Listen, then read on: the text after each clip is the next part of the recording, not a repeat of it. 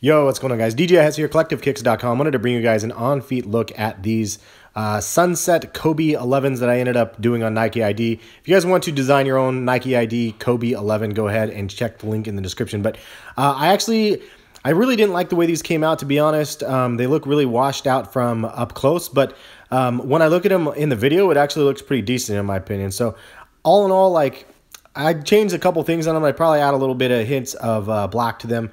Uh, but um, at the end of the day, I actually kind of like these things.